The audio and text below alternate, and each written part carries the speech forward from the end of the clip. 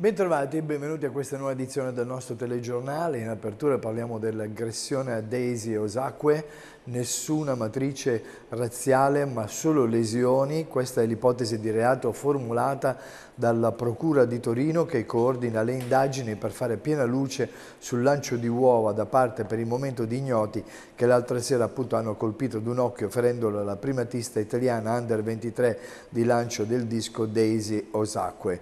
Eh, L'inchiesta è coordinata dal PM Patrizia Caputo che ha escluso motivi di razzismo così come aveva subito ipotizzato ipotizzato ehm, come avevano subito ipotizzato i carabinieri del comando di Torino, di parere contrario l'atleta che ieri all'uscita dalla clinica oftalmica della città aveva dichiarato che chi gli ha lanciato addosso le uova lo ha fatto solo perché è una persona di colore. Sull'episodio intanto continuano le dichiarazioni soprattutto sui social dei vari leader politici. Oggi il vice premier Luigi Di Maio ha dichiarato che spera in una rapida soluzione del caso e che gli autori vengano presto messi in galera.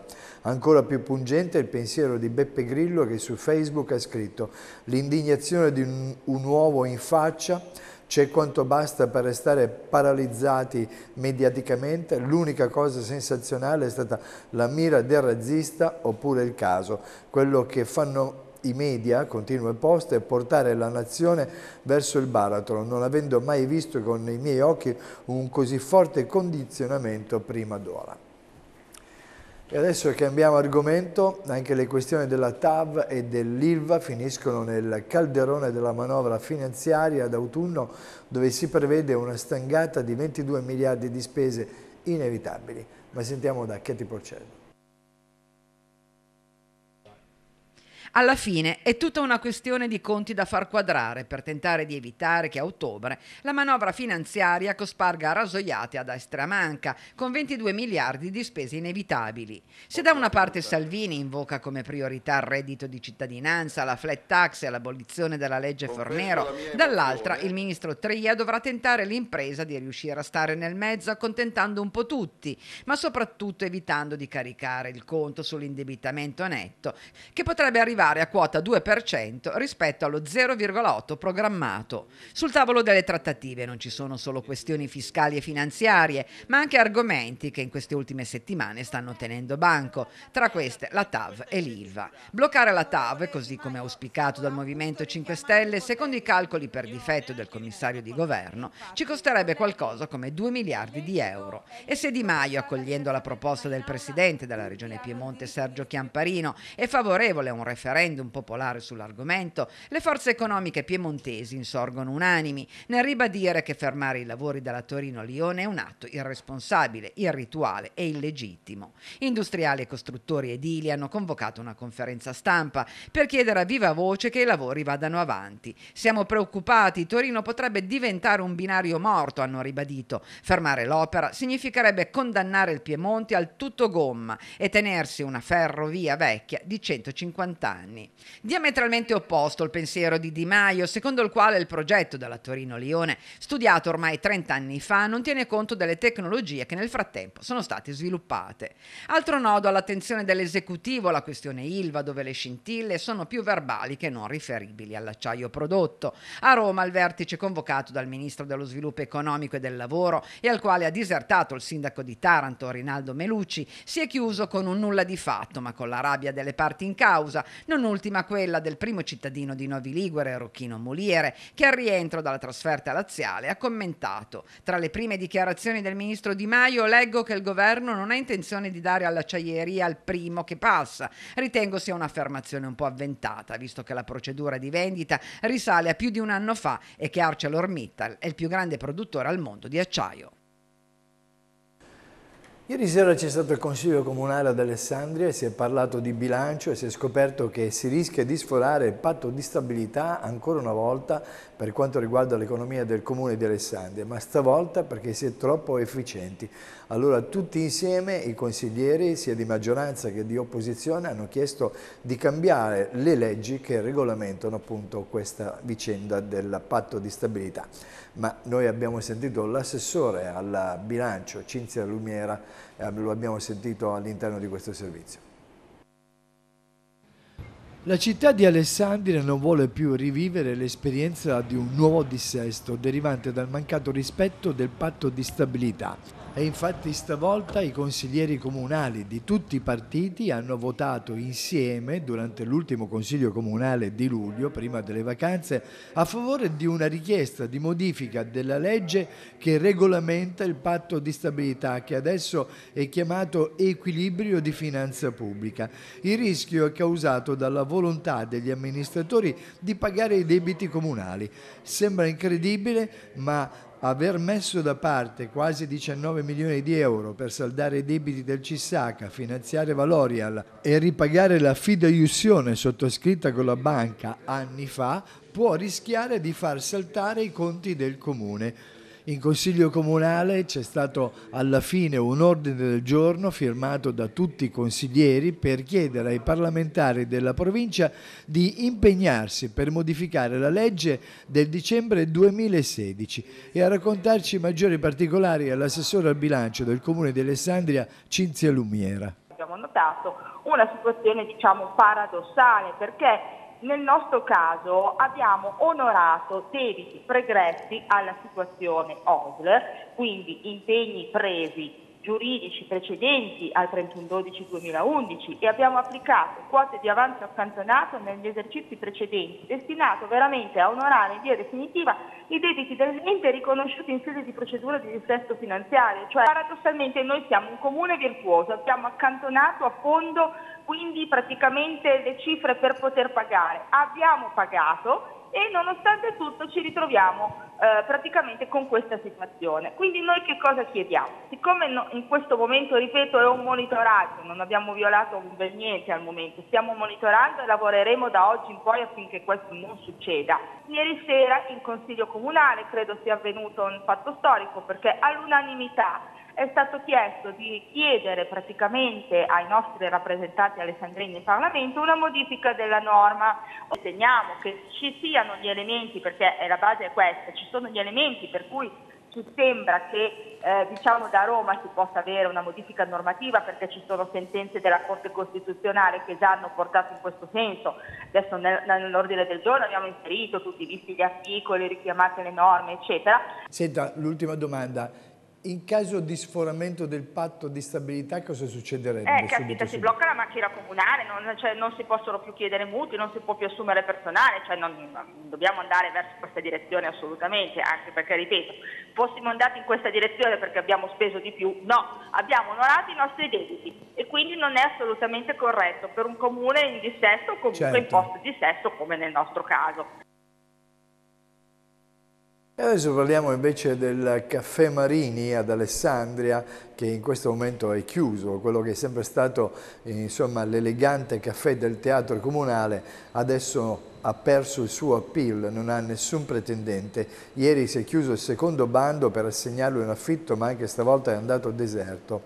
Aspal, la società di proprietà del comune che è proprietaria dell'immobile, probabilmente dovrà assegnarlo non più con un bando ma con una trattativa privata. Il costo dell'affitto che nel primo bando era stato stabilito in 2.000 euro mensili, in questa seconda tornata era stato ribassato a 1.500 euro al mese, con un contratto passato da 6 anni a 9 anni, oltre naturalmente ai 60.000 euro di base per rimetterlo a posto. Certo una spinta per rilanciare l'attività e quindi renderlo maggiormente appetibile potrebbe essere legata ad un'attività più intensa della sala Ferrero del Teatro Comunale che è agibile ma che non viene usata molto della sala grande naturalmente del teatro comunale non è il caso di parlarne perché per riaprirla ci vanno oltre 2 milioni di euro e per il momento non sembra proprio ci sia l'interesse da parte di nessuno a riaprire quello che per molti anni è stato il luogo il, della cultura alessandrina. E adesso ci spostiamo a Tortona, la città si candida a diventare punto di riferimento della sanità alessandrina. È stata infatti presentata in commissione la proposta tecnica del progetto preliminare che individua in zona strada Cabannoni la realizzazione del polo ospedaliero di cui si parla da anni. Sentiamo da Alessandro Della Camera. L'amministrazione comunale di Tortona si dichiara pronta ad accogliere, se l'orientamento della Regione Piemonte venisse confermato in quella direzione, il nuovo ospedale unico di cui si parla da tempo. Un'opportunità per il territorio che superi i localismi e che accolga in un'unica struttura tutte le specialità e garantisca un'assistenza di eccellenza. L'area individuata per il potenziale nuovo polo ospedaliero è quella di Strada Cabannoni. In commissione urbanistica è stata presentata la bozza del progetto preliminare della variante al piano regolatore tortonese, 240.000 i metri quadrati di terreno che diventeranno area a servizi. In questo modo ci si troverebbe dotati di un luogo già destinato e servito dal punto di vista infrastrutturale e viabilistico. In bozza, infatti, fra le altre previsioni, figura pure un percorso stradale utile al possibile futuro ospedale, naturale prosecuzione della tangenziale nord, che collegherebbe la rotatoria posta all'intersezione di strada comunale Gerola con la strada statale per Alessandria, in frazione Torre Garofoli, e la futura rotatoria formata dalla strada comunale Cabannoni e la provinciale 211, approvata dall'amministrazione provinciale alessandrina e in fase di realizzazione, così da rendere pienamente operativa la tangenziale nord in direzione Voghera. Se attuata sarebbe facile garantire il raggiungimento del casello autostradale e della stessa tangenziale nord e, dicono dagli uffici dell'ex caserba Passalacqua, verrebbe assorbito il traffico proveniente dalla statale per Alessandria e diretto verso nord. Intanto la bozza di proposta tecnica del progetto preliminare alla variante generale al piano regolatore comunale si scontra già in città con i primi commenti di chi, passando davanti all'ospedale Santi Antonio e Margherita, si chiede quale sarà il futuro dell'attuale nosocomio cittadino. Piero Angela è il torinese dell'anno 2017. La sua nomina è stata decisa dalla giunta della Camera di Commercio che ogni anno premia chi torinese di nascita ha dato uno speciale contributo nel proprio settore di attività. Nella motivazione del riconoscimento a Piero Angela si legge che ha rappresentato lo stile torinese dell'impegno e della passione per il lavoro, coltivando in generazioni di italiani e non solo l'interesse per la ricerca e per le scoperte dell'uomo attraverso un linguaggio accurato ma comprensibile e soluzioni innovative di comunicazione che hanno rivoluzionato il mondo della divulgazione scientifica. Adesso andiamo a Volpedo, i volpedesi hanno reso omaggio al loro più illustre concittadino nel giorno del 150 anniversario della sua nascita. Stiamo parlando di Giuseppe Pellizza da Volpedo. Quello che vedrete tra poco nelle immagini è lo spettacolo itinerante Cara Miss Pittur, caro amico pittore, un'anteprima di ciò che sarà possibile rivivere il prossimo 2 settembre. Ma sentiamo di più da Alessandro Cara. Carissimi genitori, vi penso molto, così come penso a Teresa. Sono venuto in posta oggi per vedere se. È un riecheggiare nell'aria di frasi, di ricordi, di sogni e di speranza, quello che è passato di bocca in bocca e di cortile in cortile lo scorso 28 luglio a Volpedo. Siamo nel 1868, in quel giorno nasceva Giuseppe Pellizza, il pittore del quarto stato, colui che creò una congiunzione tra divisionismo italiano e coscienza sociale e che, attraverso le sue opere, rappresentò la situazione del movimento operaio o del processo processo di urbanizzazione o ancora tratteggiò la realtà del mondo contadino. Innamorato della sua Volpedo, delle sue campagne e della gente che abitava questo borgo della Valcurone, il giovane Giuseppe sentiva però forte l'esigenza di immergersi nel mondo dell'arte e per farlo doveva lasciare quel paese per andare a studiare all'Accademia di Belle Arti di Brera. Quel paese e la sua gente, oggi come fosse ieri, vissero il percorso dell'uomo e dell'artista che di ritorno a Volpedo sposò nel 1892 Teresa Bidone. Da quel momento iniziò ad aggiungere da Volpedo nella firma alle sue opere. La coppia ebbe due figlie, Maria e Nerina. Quest'ultima ha avuto un solo figlio, mentre Maria ne ha avuti cinque. Il più grande di loro è il professor Giuseppe Pippo Bruni, per anni insegnante di storia e filosofia al liceo di Tortona. Alessandra è la sua figlia più grande ed è quindi pronipote del Pellizza. Ha recitato insieme ad altri volpedesi, tre dei quali discendenti Bidone, la famiglia della moglie del pittore, in una delle scene di Cara Miss Pitour, Caro Amico Pittore, anteprima dello spettacolo itinerante che verrà proposto il 2 settembre a Volpedo, nell'ambito di un ricco cartellone di festeggiamenti organizzato dall'Associazione Pellizza da Volpedo e dall'amministrazione comunale. Un grande affresco vivente sotto la regia di Emanuele Arrigazzi e dell'aiuto regista Fabio Martinello. L'idea è partita da un fascicolo che il professor Ettore Cau, presidente fondatore dell'associazione, aveva trovato fra le carte pelliziane. Conteneva poesie, rime, soprattutto musiche dell'epoca, composte per i festeggiamenti, suonate nel cosiddetto circolo bidone. Un tempo, hanno spiegato Aurora Scotti e Pierluigi Pernigotti, rispettivamente presidente dell'Associazione Pellizza e direttore tecnico dei musei pelliziani, non si festeggiava il compleanno ma l'onomastico. Allegra De Mandato ha lavorato sui testi interpretati dal laboratorio teatrale Cesare Bonadeo sotto l'egida della Casa degli Alfieri di Asti, il maestro Matteo Ravizza sulle musiche. Tra poco ci sarà lo sport, oltre 150 giocatori per gli assoluti di scacchi che sono tenuti a Palazzo Monferrato d'Alessandria, ce ne parlerà Fabrizio Mattana.